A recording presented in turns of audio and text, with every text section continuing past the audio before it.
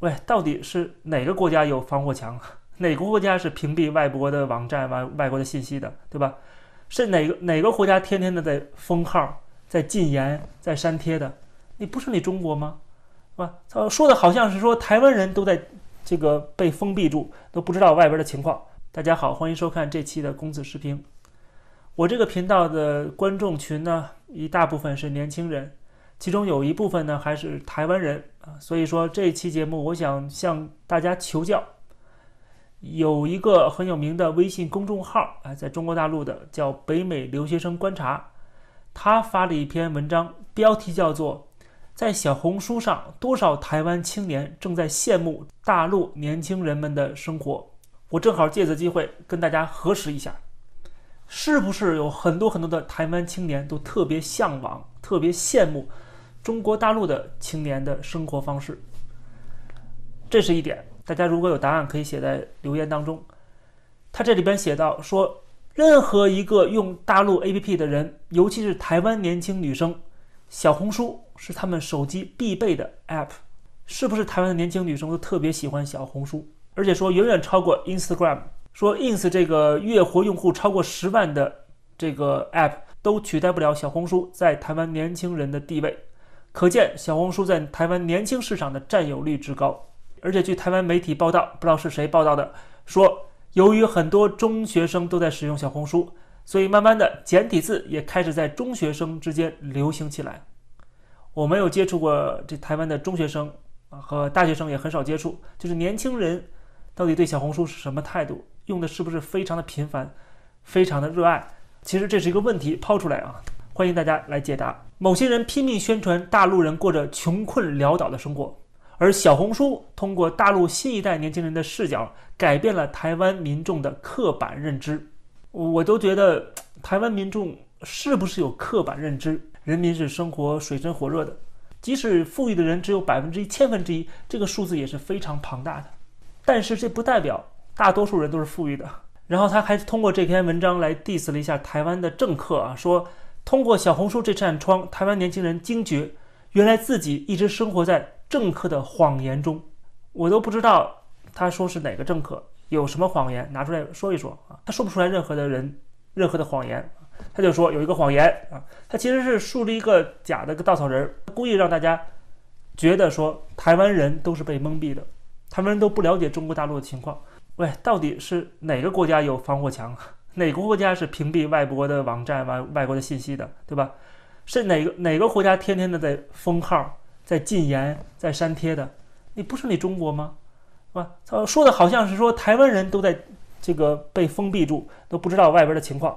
台湾人想获取任何知识，全世界任何地方的信息，他都可以获取到，只有中国获取不到。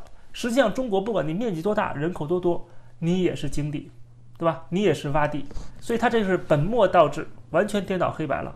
最后他说，几乎每一个年轻人。啊，就说这个小红书上面的中国年轻人都是那么青春洋溢又积极上进，拥有自由的灵魂和优质的生活。这吹小红书，哎，其实不是吹小红书，是在夸中国的经济建设，夸中国的改变。我们一直承认中国过去这几十年改革开放是有巨大翻天覆地的改变，但问题是，有你说的这种情况吗？在小红书上，每个年轻人都是这么朝气蓬勃的，都是生活这么的幸福。稍微用过小红书的人都应该知道，这里边有些人生活的并不是很好，对吧？而且再说这个展示出来的部分内容，也都是经过过滤的、经过审查的。那些负能量、那些讲社会黑暗的、那些抱怨自己生活的，很多根本就上不了台面，根本就发不出来。所以他还有一句话说特别可笑。说原来这才是中国大陆年轻人的真正生活。原来一直以来自己都太封闭了。这写这个文章的人又不是个台湾人，他假借台湾人的口吻说自己太封闭了。但是问题是你真的相信这个小红书里面内容，那你才是太封闭了。小红书虽然很多是真实的，是大家在展示自己生活，但那只是盲人摸象，你只看到那么一点点，你只是看到了光鲜亮丽的一面，你没有看到真正的中国的现状。所以说，小红书并不能代表现状，只能代表一部分年轻人的生活，而且这个生活也不是所有的生活都是多么美好的。所以他后面说，那些刻意丑化大陆形象的言论，瞒得了一时，瞒不了一世。什么叫刻意丑化？他说的是不是事实，对吧？很多的现状，很多的现实发生的事情，如果是事实，那就不叫丑化，它本来就是黑暗面，本来就是黑历史。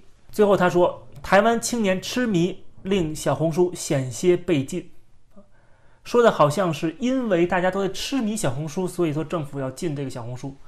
是这样吗？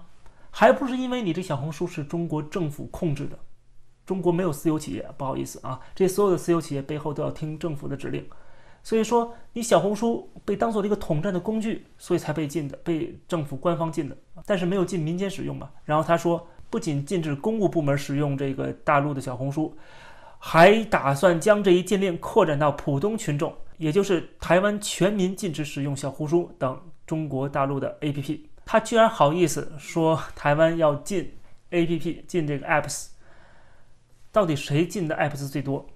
到底谁封杀的软件网站最多？他敢说吗？他不敢说。他要敢说了这个事实，他这篇文章都发不出来了。最后他还引述了一个所谓台湾网友的说法，我不知道这个是不是真的台湾网友。他是这么说的：所有那些反对这个小红书、反对这些中国大陆 A P P 的人，与其说是怕认同台湾的声音变少。不如说是怕觉得被捅也没差的人变多。毕竟，如果一直接受中国的好资讯，潜移默化下可能会间接觉得中国很好啊，为什么不能被捅呢？他这段话恰恰就说明了为什么这个软件必须要被禁，对吧？就恰恰说明了这个软件在起到一个统战的作用。他等于自己承认了，我们就是统战你，我们就是让影响你，就是让你感觉到。中国大陆太好了，我们也想被统、被统一，我们也想被共产党统治。这种被共产党统治的生活太幸福了，这不就是他们的目的吗？他就给讲出来了。现在谁还说这个软件不是搞统战的，不是统战的工具？他自己都承认了。当然了，这篇文章很可能是软文，是在中国大陆境内去宣传小红书的，啊。因为毕竟看这个公众号的人主要是中国大陆的这个学生啊，年轻人。但是他做广告就做广告吧，你讲你有小红书多好就好吧，你非要把台湾给牵扯上，非要借此机会去 diss 一下台湾的所谓政客、台湾的民主制度，diss 一下所有正在警惕中共威胁的人们。这个广告不仅是广告了，它还夹带私货啊，还有政治含义了。但是不管怎么样，让我们警醒。我觉得台湾人更应该警醒。你可以看小红书，我觉得没有关系，但是你要有头脑，你要有分辨能力，对吧？你看点生活的东西没有问题，但是是你要明白对岸到底什么样的国家，你要明白事物是很复杂的，不是像他们宣传的那么美好。